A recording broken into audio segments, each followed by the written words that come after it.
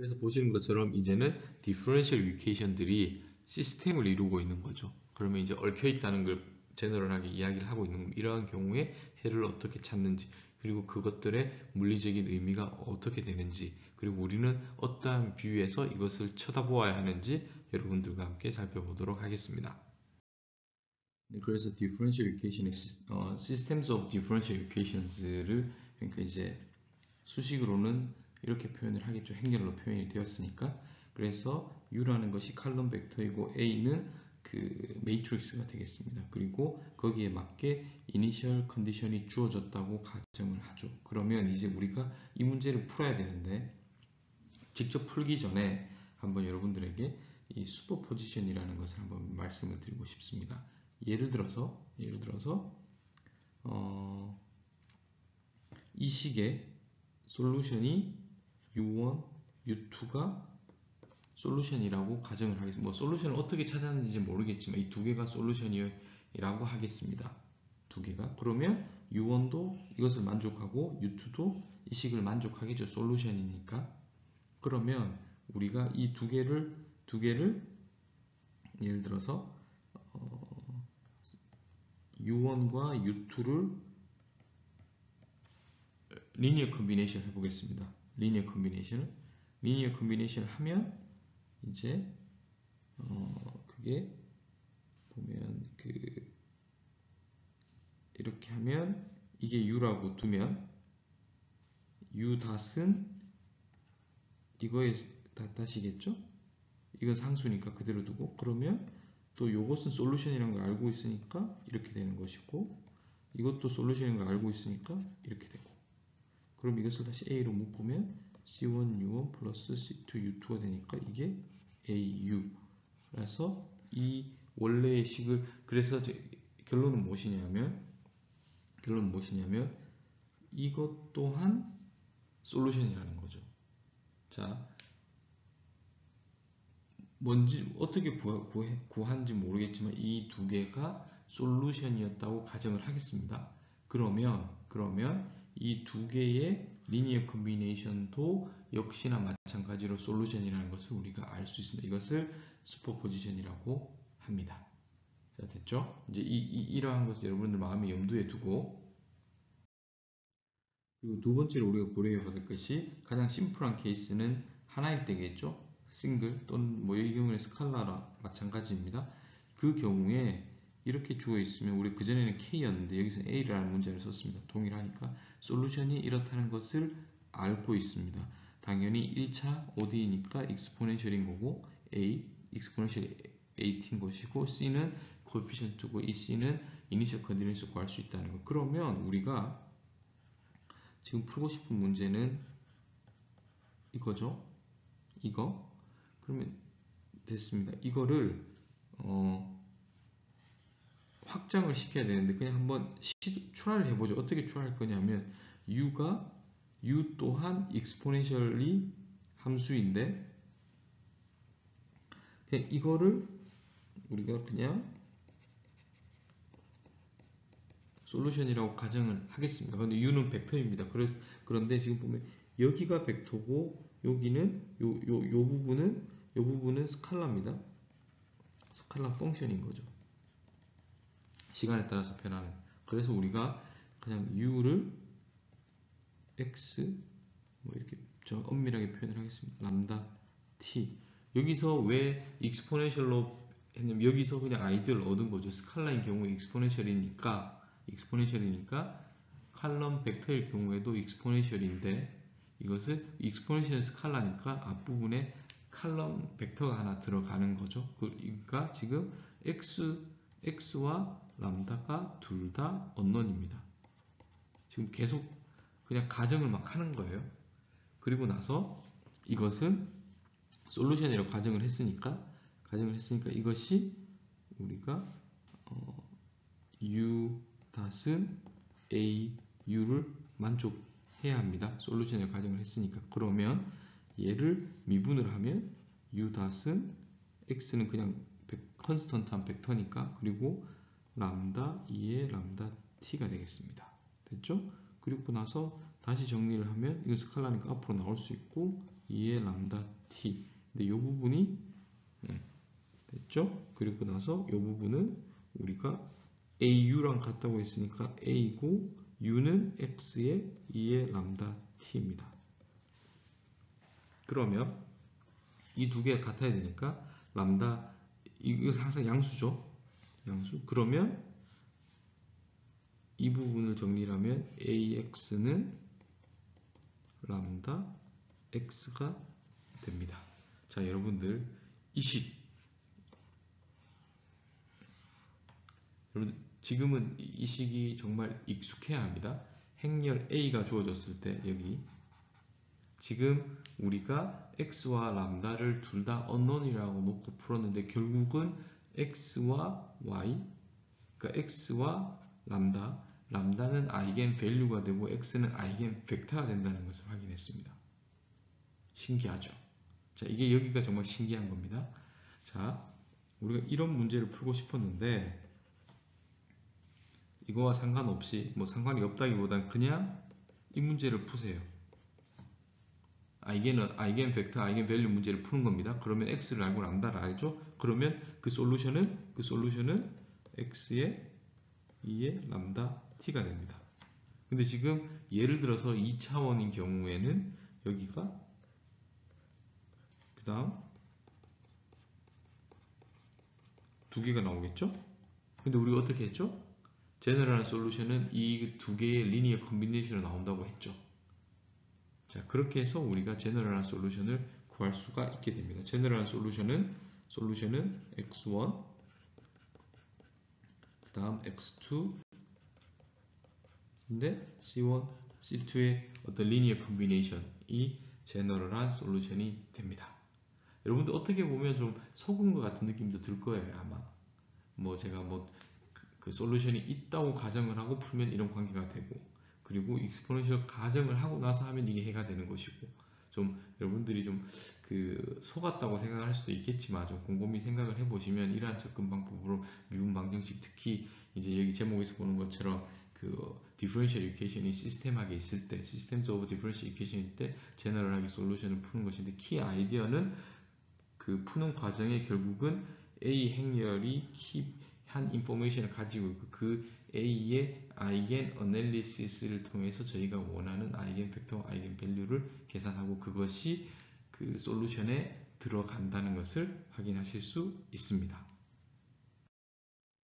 그러면 이제 이렇게 eigenvalue를 eigenvector를 찾겠죠? 그럼 우리가 이제는 이게 solution인 가 알고 있고 이게 solution인지 알고 있으니까 두 개 solution이 두 개가 된 겁니다. general한 solution은 이 두 개의 linear combination으로 표현이 된다. 그리고 C1, C2를 찾아야 되는데 역시나 마찬가지로 initial condition에서 오겠죠. 그렇기 때문에 2차원인 경우에는 initial condition이 두 개가 필요한 겁니다. initial condition이 두 개.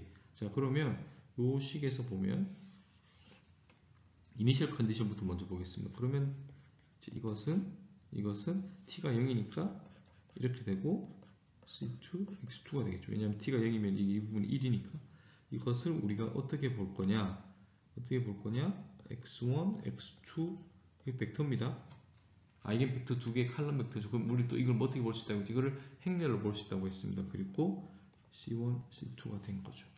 자 그러면 우리가 그 이니셜 컨디션이 주어지면 주어지면 주어지면 결국 C1, C2를 계산해야 되는데 이것은 이것을 S라고 하죠. 그럼 S의 인버스의 유제로로 계산을 할 수 있게 되는 것입니다.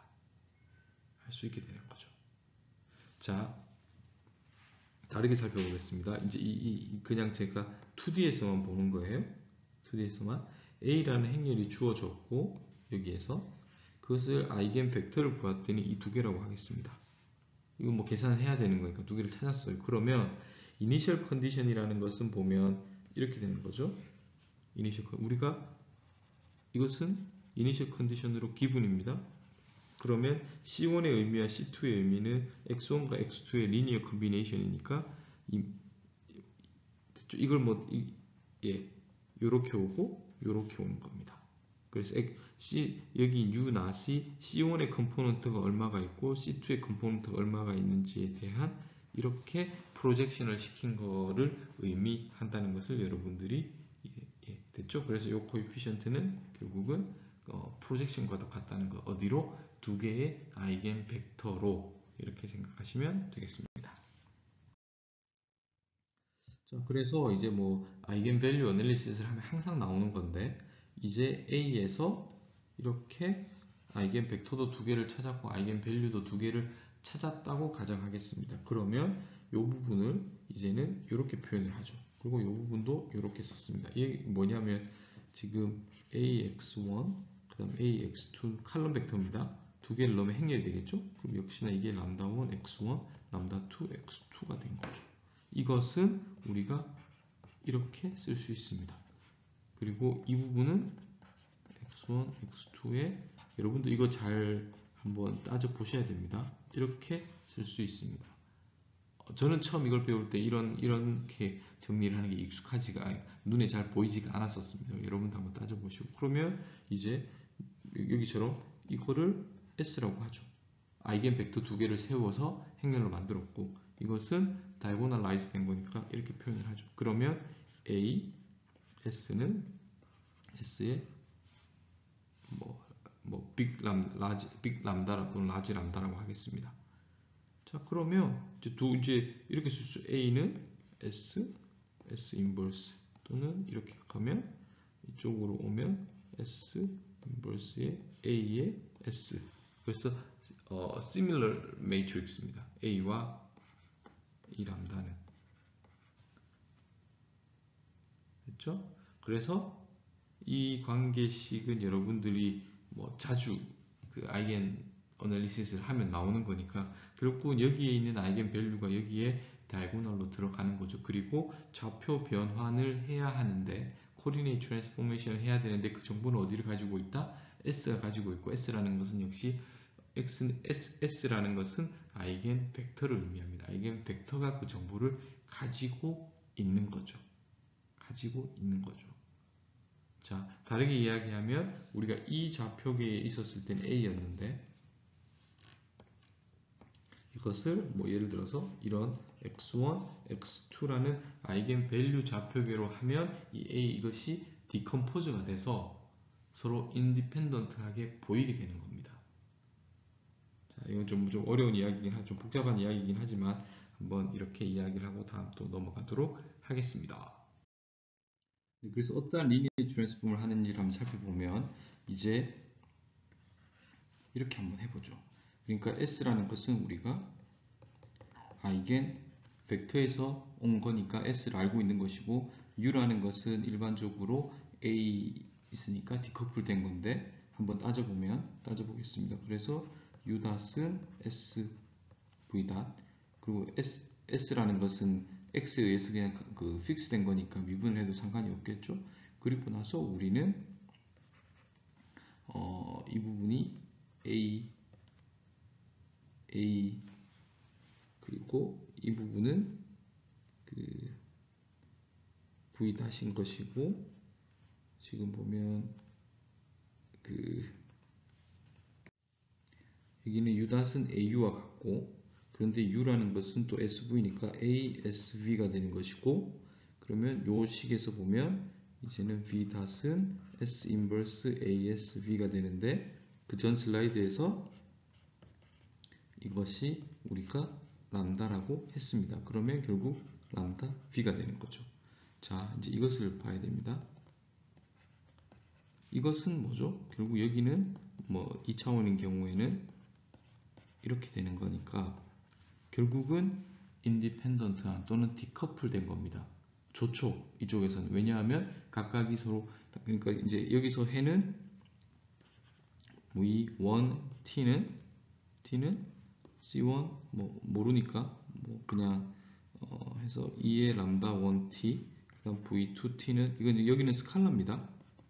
그냥 스칼라인 거예요. 그럼 여기를 뭐로 할까요? 그냥 0일 때니까 V1 제로, V2 제로라고 하겠습니다. 이것은 그냥 각각 아무런 V1과 VT, v, V1을 계산할 때 V2의 정보가 필요 없고 V2를 계산할 때 V1의 정보가 필요 없으니까 그냥 이렇게 스칼라로 해결을 했습니다. 자 그러면 우리가 다시 원래 식으로 돌아가서 원래 식으로 돌아가서 u라는 것은 s니까 x1, x2에 결국은 우리가 해를 찾았죠. v2t로 찾았죠? 그러고 나서 이걸 다시 합쳐보면 합쳐보면 이것이 x1 벡터가 되고 v 지금 이것은 코이피션트인데 시간에 따라서 변하는 거예요. 지금 이렇게 u가 원래 다시 해서 우리가 하는 것을 알고 싶은 것은 이것을 계산하는 거죠.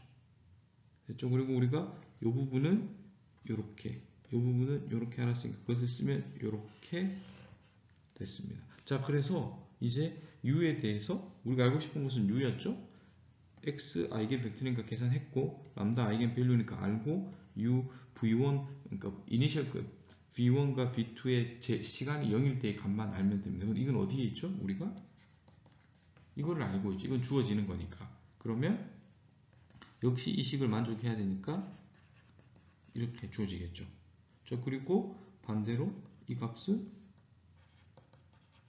이렇게 계산할 테니까 v도 계산을 할 수 있게 되는 것입니다. 됐죠? 자 그러면 이제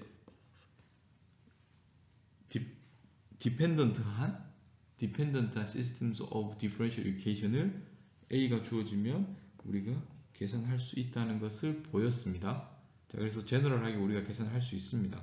그런데 그 식을 보면 결국은 이렇게 생각하시면 돼요. 이것은 계수니까 뭐 계산할 수 있다고 치고 궁극적으로 A가 주어지면 A가 주어지면 eigenvalue eigen analysis에서 eigenvector를 계산하고 됐죠?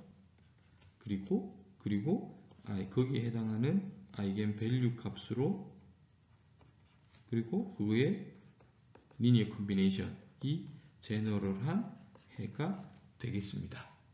됐죠? 결국은 eigenvector의 값을 계산하는 것이 중요합니다. eigenvalue가. 자, 여기 이렇게 해서 이야기를 이 슬라이드에서 마무리를 하고 넘어가도록 하겠습니다. 그래서 U 프레임에서 시작을 했지만 우리가 문제가 주어졌지만 결국은 이 문제였는데 그리고 이렇게 주어져 있었는데 V 프레임 이죠. 그리고 우리는 이것을 이렇게 표현을 했습니다. 그러면 그러면 이것은 디커플 된다는 것을 제가 전 슬라이드 보여주었고 어떤 어, 아이겐 벡터들에 의해서 다시 한번 보겠습니다. V는 V는 각각 이렇게 계산이 되죠. 디커플 됐으니까 그러면 이것을 또 이렇게 풀어서 쓰겠습니다. 그러니까 이렇게 계산하고 이렇게 계산을 할 테니까 자 이렇게 또 풀어서 썼습니다. 이런 것도 여러분들이 눈에 보였으면 좋겠습니다. 그리고 얘는 B 프레임에서의 B 프레임에서의 이니셜 컨디션인 거죠. B 프레임에서의 이니셜 컨디션입니다. 프레임에서의 이니셜 컨디션입니다. 근데 우리 결국은 우리는 U를 계산하고 싶은 거죠. U를. 그런데 우리가 알고 있죠. 어, 이, 이 식을 그리고 S라는 것은 X1, X2니까 X1, X2가 있고 여기가 그 다음 우리가 해야 될 것은 이렇게 이게 쓰겠습니다. UT는 SVT인 거죠. 그래서 VT가 지금 이렇게 왔기 때문에 그 식이 들어갔습니다. 그리고 여기는 그냥 벡터로 표현을 했습니다. 그렇죠? 그리고 역시 마찬가지로 이니셜 컨디션, 컨디션에서 U0는 SV0니까 V0는 S 인버스의 U0라서 여기까지 왔습니다. 자, 이걸 정리해서 쓰면 정리해서 쓰면 S S inverse U0 그 다음 exponential 람다 t, exponential 람다 2t, 1t 0 0 이렇게 되겠습니다. 자, 그런데 우리가 람다를 이렇게 표현을 했으니까 이것의 exponential 행 여기에 exponential, exponential의 숫자가 들어 저희가 이제 exponential은 원래 이제 real 숫자가 들어가야 되는데 그 전에서는 여기서 복소수가 올라가면 어떻게 되는지 그리고 여기서는 지금 뭐라냐면 exponential이 행렬이 올라가면 어떻게 되는지를 지금 표현하고 있는 겁니다. 그러면 이 경우에는 이렇게 돼 있는데 그냥 이 경우에는 이것을 그냥 각각 이렇게 수치로 지금은 생각하겠습니다. 그러면 이것을 심플하게 표현을 이렇게 쓸 수 있겠죠. 자, 그래서 general하게 이렇게 식을 계산할 수가 있습니다. 자, 그런데 이거를 다르게 보면 어떻게 볼 거냐?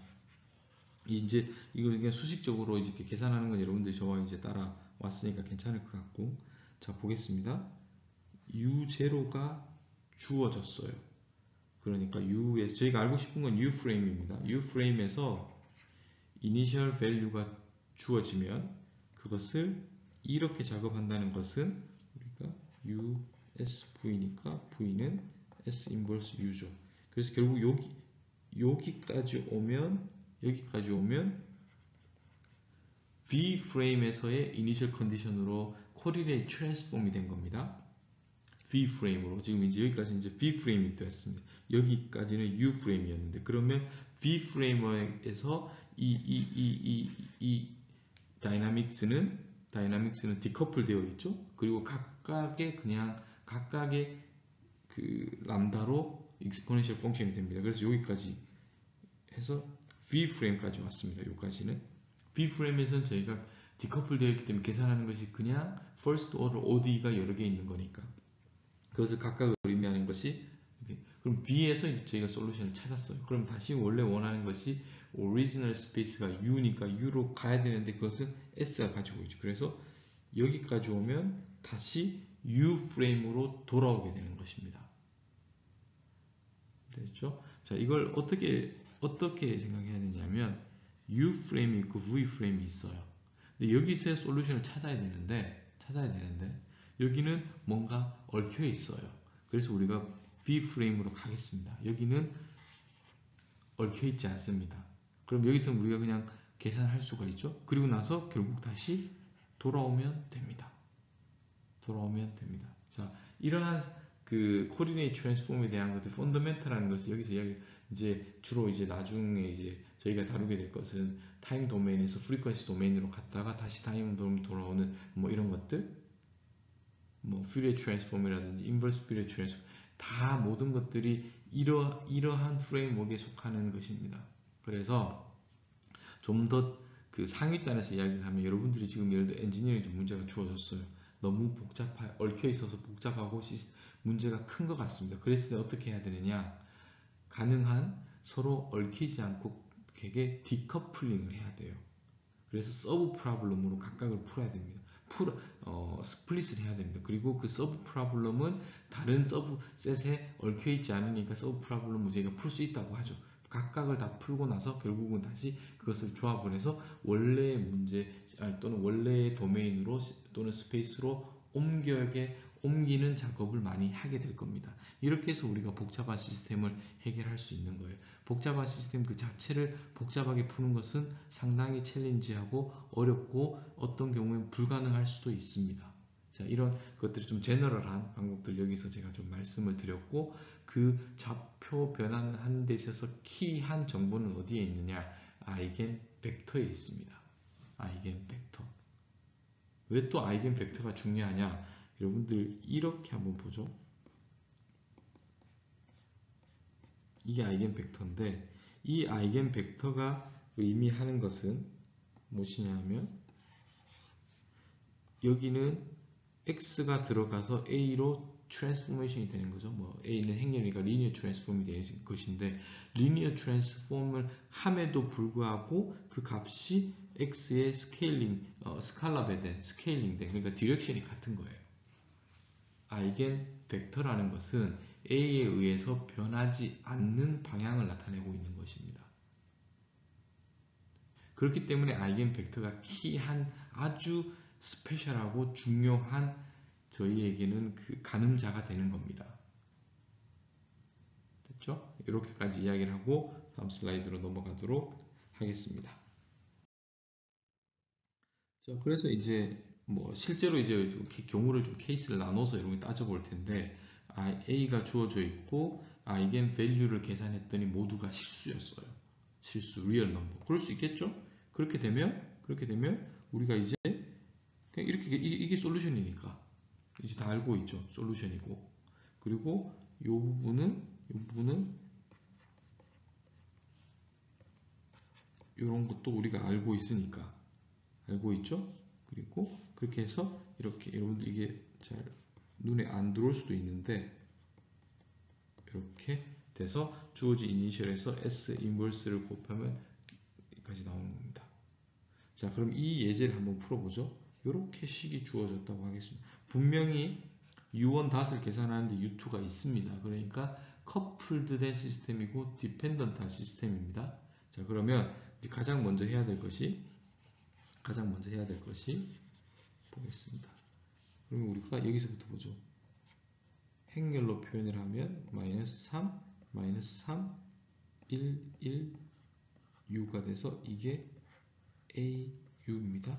그러면 이제 먼저 해야 될 것이 a에 대한 아이겐 벡터를 계산을 해야 되고 eigenvector는 계산 eigenvalue eigen analysis를 여러분들 할 수 있다고 제가 가정을 하겠습니다. 그러면 a를 계산한 마이너스 3 마이너스 람다 마이너스 3 마이너스 람다 1 1의 determinant를 계산했을 때 0이 되어야 되는 거니까 3 플러스 람다의 제곱 마이너스 1은 0 됐죠? 람다 제곱 플러스 6 람다 9인데 1을 빼니까 8 그러면 람다는 람다는 어떻게 되죠?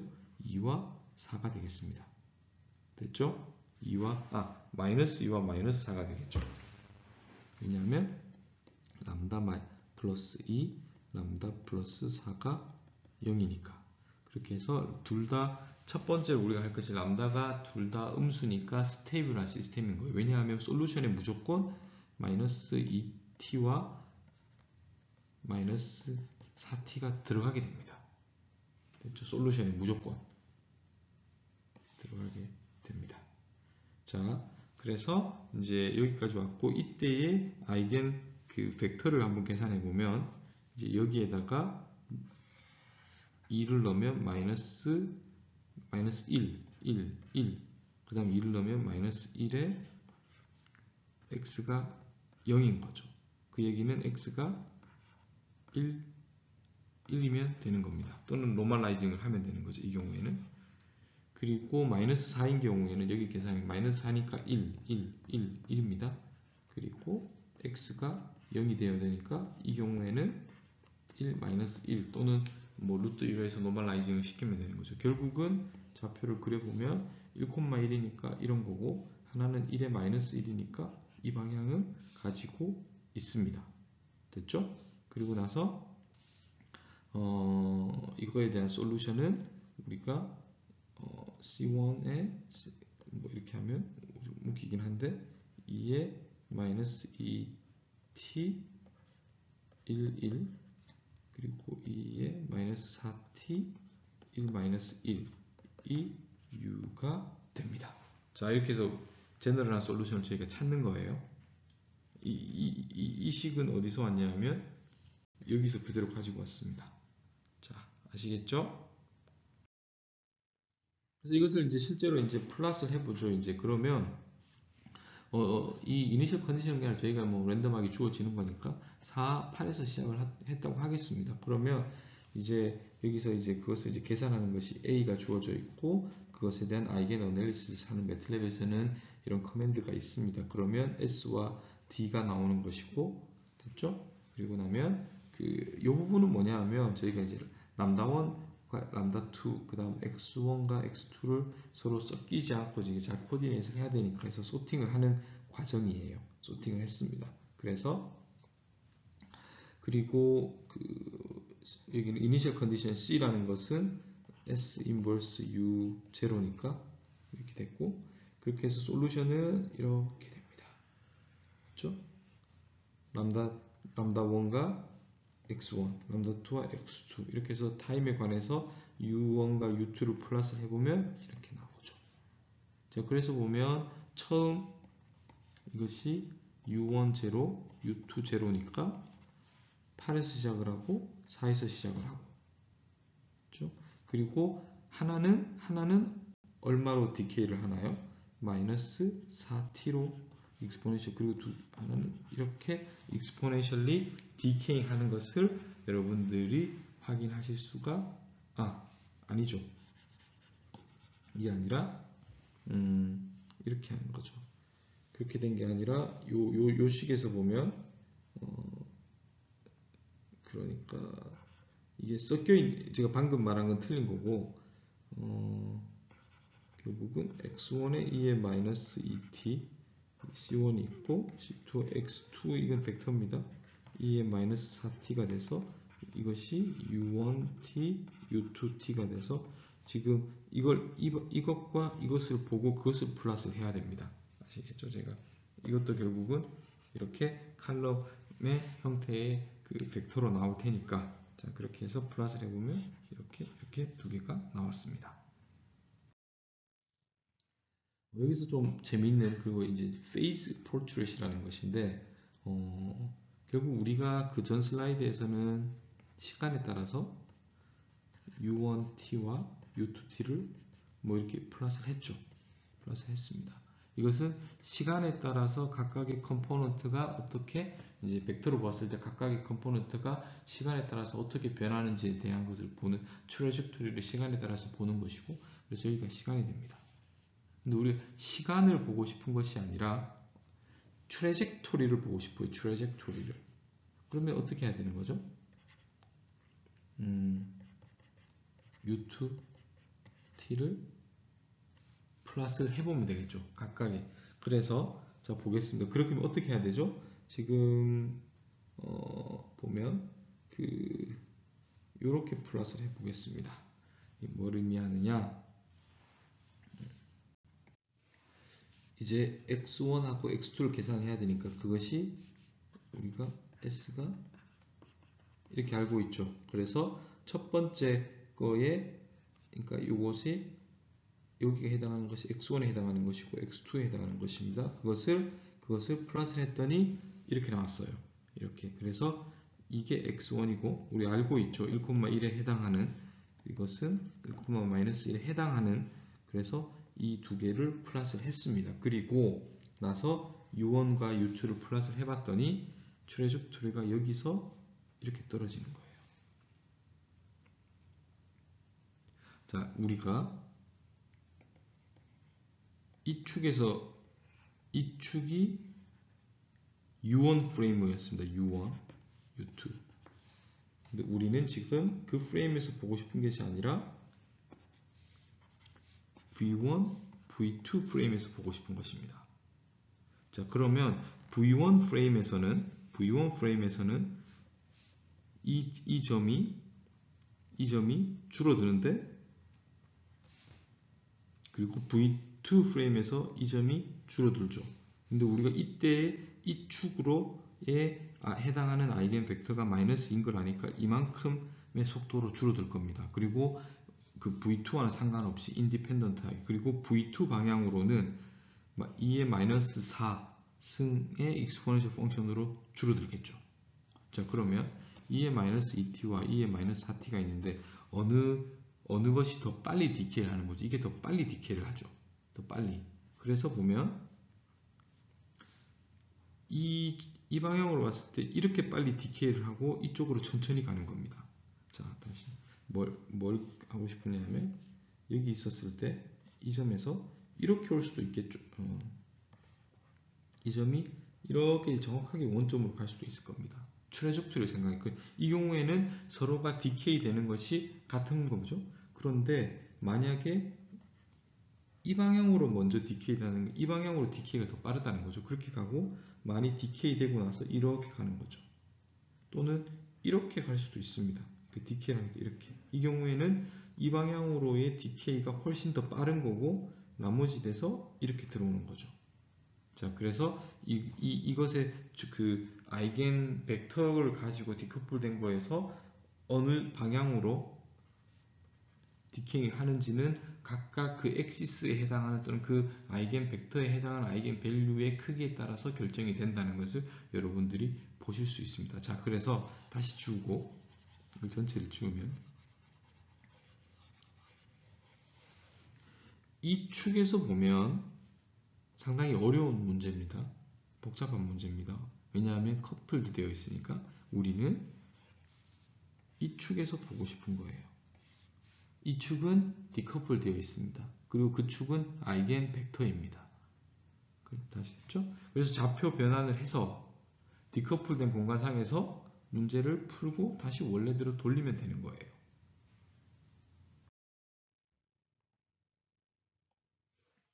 자, 이제 두 번째 예시를 한번 풀어보겠습니다.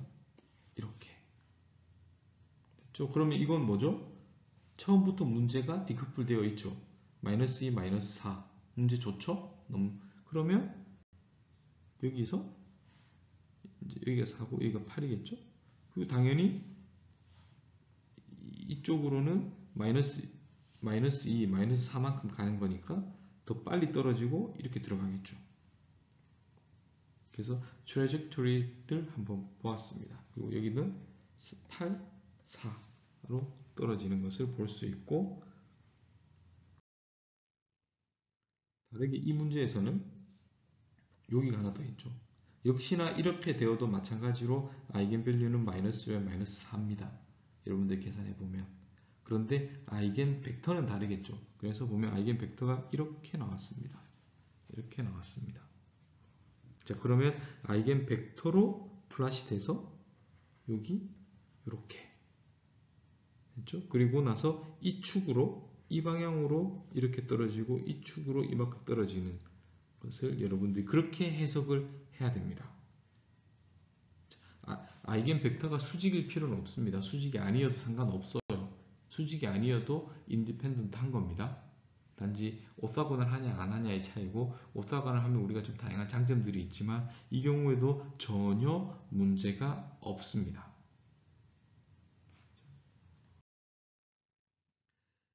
자, 지금 보면 제가 이 세 개의 예시를 왜 들었느냐 전부 다 전부 다 람다 1이 마이너스 2고 람다 2가 마이너스 4입니다.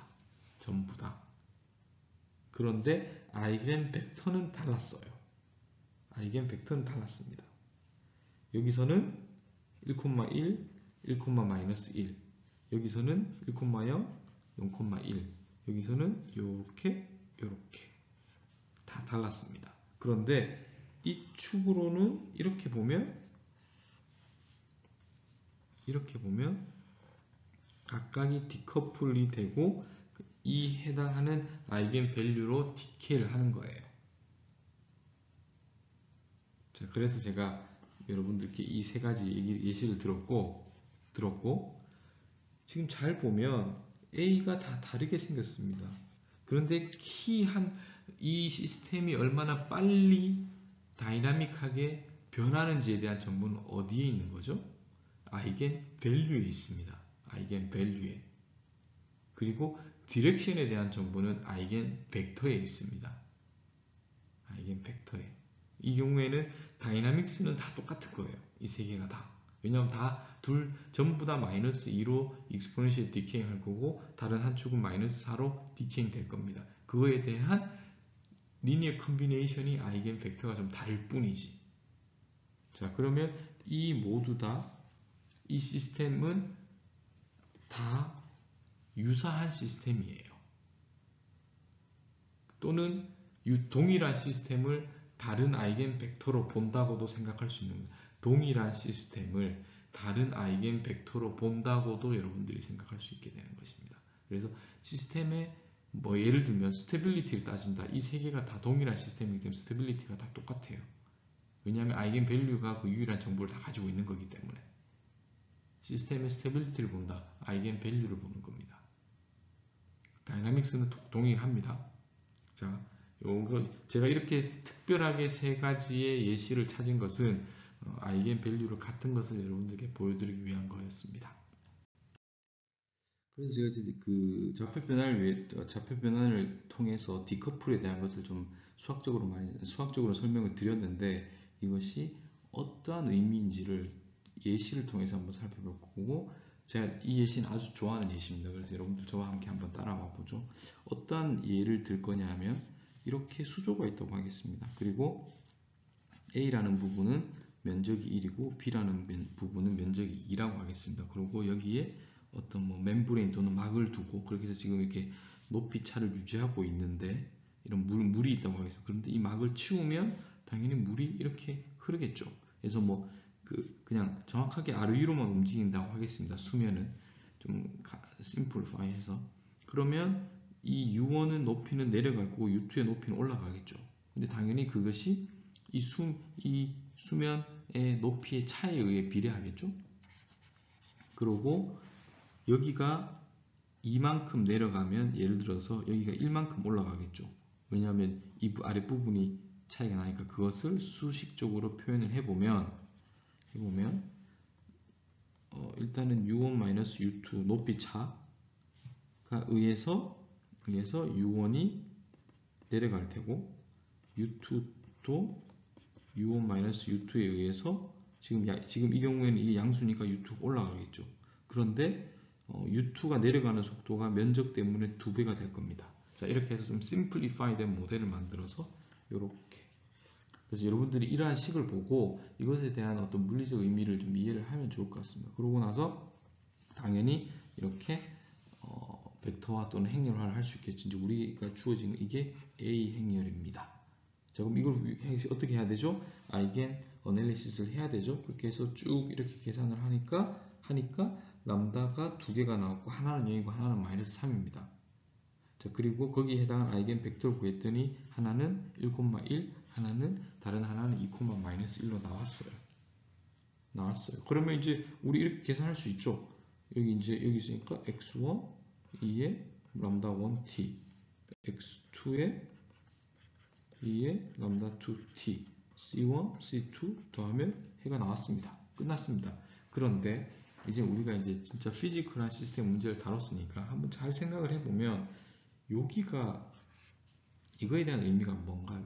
eigenvalue가 0이라는 것은 결국은 eigenvalue가 0이라는 것은 이 부분 예를 들어 이거면 그럼 이게 1인 거죠.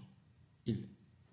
1 값이 여기에 해당 그러면 이것은 1이라는 것은 결국은 시간에 따라서 시간의 흐름에 따라서 값이 변하지 않는 겁니다. 않는 거죠. 그러니까 time invariant 한 게 있다는 거죠. 자, 요것에 대해 아이디어를 착안을 해서 이렇게 한번 살펴보죠. 이제 변수를 바꿀 텐데, 바꿀 텐데, 바꿀 텐데, 여기에서 시간에 따라서 변하지 않는 게 뭐가 있을까요? 시간에 따라서 변하지 않는 것. 물의 총량은 변하지 않습니다. 그 물의 총량이 얼마인가요? 물의 총량이 면적이 1이니까 U1 2배의 U2입니다. 그래서 이렇게 표현을 해서 이 V1, V1의 물리적 의미는 total amount of water죠. 물의 총량. 그리고 그리고 요 높이차 U2, U1-U2를 V2로 하겠습니다. 그럼 높이차. 왜냐하면 높이차가 가장 중요하죠. 높이차. 그러면 우리가 처음 주어진 어, 이렇게 보면 V1 닷은 당연히 U1 닷 플러스 이 U2 닷이죠. 그렇죠? 근데 우리가 우리가 이렇게 되고 V2 닷도 U1 닷 마이너스 U2 닷이죠. 그리고 그 전 슬라이드에서 U1 닷은 이렇게 U2 닷은 이렇게인데 그럼 앞에 2가 곱해지겠죠? 그 U1 닷은 이렇게 U2 닷은 마이너스 그래서 계산해 보면 0 쭉 해서 마이너스 V2가 됐습니다. 자 정리를 이렇게 정리를 하죠. 저희가 이렇게 좌표 변환을 했더니 했더니 V, V1, v, V1과 V2 coordinate에서는 일단 첫 번째 decouple 됐죠? independent 합니다. 얘는 0이니까 constant 한 거고 얘는 마이너스 3이라는 것을 exponentially decaying 하는 거예요. decaying. 자, 뭘 의미하느냐? 첫 번째로 디커플을 했는데 저희가 디커플을 수학적으로 할 수 있어요. 할 수 있는데 이 과정은 뭐 잘 생각해 보죠. 전체 물의 양은 변하지 않습니다. 그리고 변하는 것은 이 높이 차가 높이 차가 처음에는 U1-U2에 있다가 결국 높이 차가 어떻게 되는 거죠? 0으로 exponentially decaying 하는 거죠. 그것은 얼마로? 람다 2t로 decay 하게 되는 거죠. 자, 아시겠습니까? 그래서 수학적으로 그냥 아무 A라는 것이 주어져 있을 때 아무 아무 생각 없이 아이겐 어널리스를 하는 것보다는 각각의 그 텀들이 의미하는 피직스를 알고 있고 그것에 대한 물리적 의미를 여러분들이 해석할 수 있고 좌표 변화를 어떻게 했는지에 대한 이러한 의미를 아는 것이 그 이해를 하는데 훨씬 더 풍성해지는 겁니다. 풍성해집니다. 그럼 또 다르게 생각을 하면 다르게 생각을 하면 처음 문제를 풀 때 여기에 변수를 어떻게 둘 것인지는 여러분들이 선택하는 겁니다. 그랬을 때 좀 경험이 많거나 어떤 물리적인 센스가 있는 사람들은 처음부터 처음부터 변수를 변수를 처음부터 u1 플러스 2u2 u1 마이너스 u로 처음부터 뭐 이렇게 좌표를 놓으면 풀 수 있겠죠. 근데 이런 뭐 이건 뭐, 심, 뭐 이것도 어려운 건데 이거보다 더 복, 뭐 어려운 건데 이걸 할 수 있다고 하면 정말 그 센스가 대단한 거고 근데 현실적으로 이거보다 더 복잡한 시스템은 이렇게 우리가 우리의 직관과 insight로 이 문제를 이렇게 변수들을 이렇게 그, 어, 그 코리 어, 그 change variable을 할 수가 없죠. 어려운 문제겠죠. 그럴 때는 어떻게 수학의 힘을 빌리는 겁니다. 우리가 알고 있는 아니면 상식선에서 이렇게 식, 식을 계산을 하고 결국은 eigen analysis를 통해서 변하지 않는 eigenvector를 계산하는 것. 그렇기 때문에 여기서 이제 수학이 중요해지는 겁니다. 여러분들이 어떤 physical한 insight가 있으면 수학이 좀 더 심플해질 수 있지만 그거보다는 general하게 coordinate를 주고 그것에 해당하는 미분 방정식을 세우고 그리고 나서 eigen analysis를 하는 게 더 현실적이고 맞습니다. 자, 제가 여기서 좀 이야기를 많이 했는데 워낙 중요하고 저, 저 여러분들이 정확하게 이 개념을 여러분들 것으로 만들 필요가 있습니다. 그래서 trajectory를 보면 여기는 U에 해당하는 것이고 여기는 V에 해당하는 것입니다. 그렇죠? 하나는 constant하고 하나는 exponential decaying 하는데 여기는 둘 다 decaying을 하고 있습니다. 그래서 제가 이제 매틀랩으로 다 구현을 했는데 여기서는 결과만 보여드리면 이게 아이겐 벡터가 되겠죠. 그리고 결국은 아이겐 벡터로 떨어지고 있습니다. 그런데 우리가 이 축에서 보면 이 축에서 보면 값이 값이 U1에도 U2도 다 동시에 다 변하고 있습니다. 자, 이것을 이 축에서 이 축으로 보면 V1과 V2의 축으로 보면 V, V1은 값이 변하지 않습니다. 왜냐하면 토탈 볼륨이니까. 단지 V2만 값이 정확하게 이 방향으로 촥 내려오고 있죠. 자, 이것이 디커플된 코디네이션이고 이것은 커플드 되어 있습니다. 당연히 이것이 우리 훨씬 더 저희가 직, 어, 직관적으로 쉽게 이해를 할 수가 있죠. 하지만 이러한 좋은 코디네이트 첫 번째 바로 찾아내는 것 또한 또 쉽지가 않습니다.